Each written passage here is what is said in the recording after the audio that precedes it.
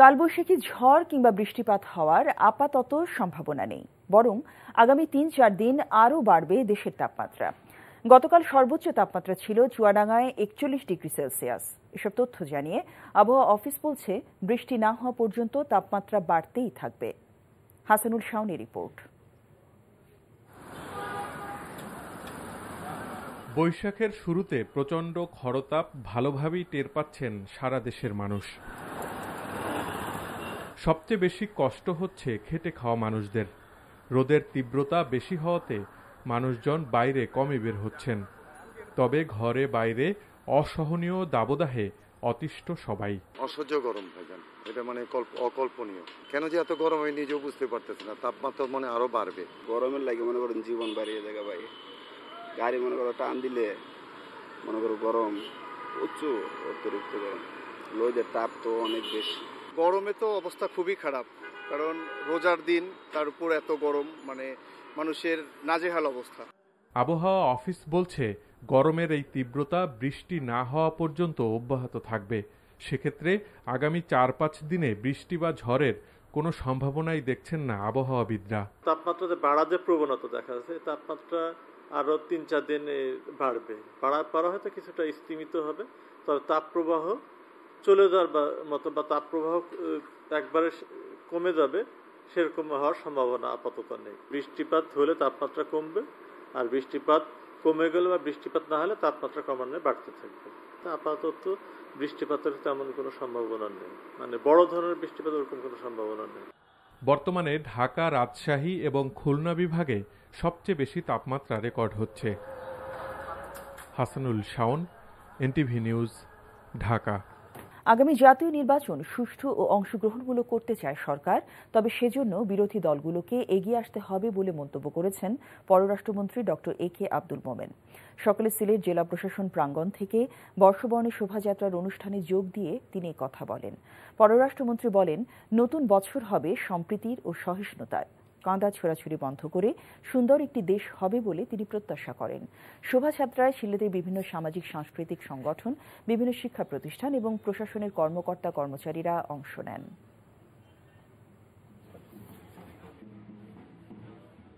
নির্বাচন সুন্দর, স্বচ্ছ হবে।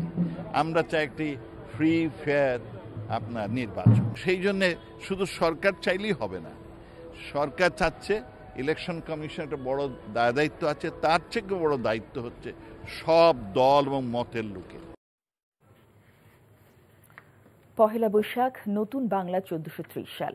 সারা দেশে আনন্দঘন নানা আয়োজনে বরণ করে নেয় বাংলা নতুন বছরকে। বাংলা নববর্ষ চোদ্দশো ত্রিশ জাঁকজমকপূর্ণভাবে উদযাপনের লক্ষ্যে জাতীয় পর্যায়ে বিভিন্ন কর্মসূচি গ্রহণ করা হয়েছে। সূর্যোদয়ের সাথে রমনা বটমূলে সাংস্কৃতিক অনুষ্ঠানের আয়োজন করে ছায়ানট। কল্যাণ ও নতুন জীবনের সুখ, শান্তি ও সমৃদ্ধি কামনায় বাঙালি আজ মেতে উঠেছে বৈশাখের বর্ণিল উৎসবে। এদিকে ঢাকা বিশ্ববিদ্যালয়ের চারুকলা অনুষদ মঙ্গল শোভাযাত্রা ও সাংস্কৃতিক অনুষ্ঠানের আয়োজন করে। বরিশধারা মাঝে শান্তির বাড়ি। প্রতিপাদ্য নিয়ে চারুকলা অনুষদ থেকে মঙ্গল শোভাযাত্রা শাহবাগ মোড় হয়ে পুনরায় শাহবাগ মোড়ে গিয়ে শেষ হয়। এছাড়াও দেশজুড়ে থাকছে বর্ষবরণের নানা আয়োজন।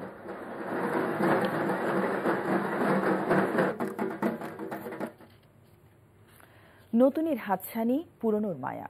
এই দুয়ে মিলে আবারও এসেছে বাংলার নতুন বছর।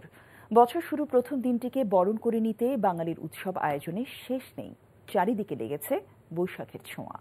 নববর্ষ উপলক্ষে সারা দেশেই চলছে বৈশাখী মেলা ও নানান সাংস্কৃতিক অনুষ্ঠান। কথা নাহিয়ানের ডেস্ক রিপোর্ট। প্রখর তাপে লাল সাদার ছড়াছড়ি।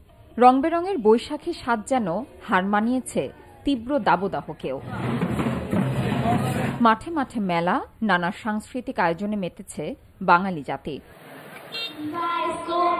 সকাল থেকে চট্টগ্রাম নগরীর ডিসি হিল সিআরবি সহ বেশ কয়েকটি স্থানে বিভিন্ন সাংস্কৃতিক সংগঠন ও জেলা প্রশাসনের উদ্যোগে উদযাপিত হচ্ছে পহেলা বৈশাখ। সাম্প্রদায়িকতা এবং যত ধরনের অপশাসন আছে সবগুলো থেকে দূরে থাকব।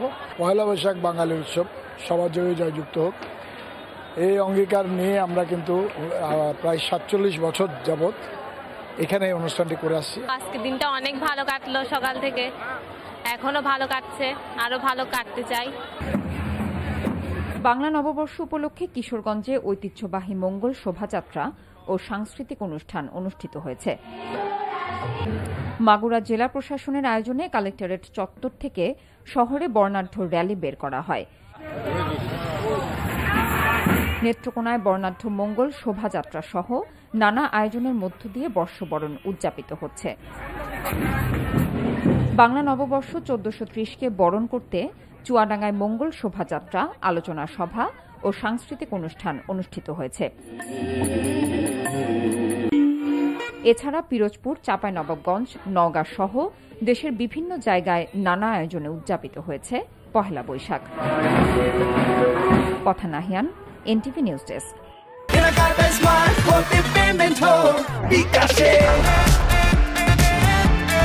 খুলনায় পালিত হচ্ছে আল কুদস দিবস।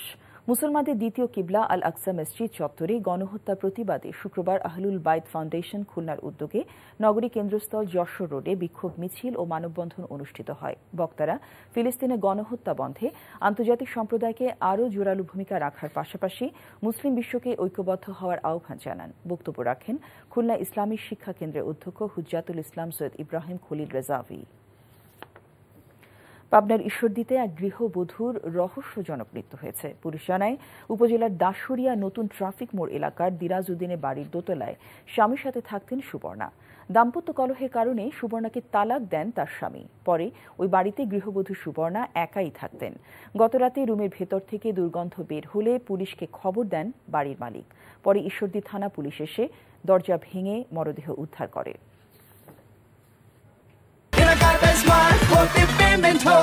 বিকাশে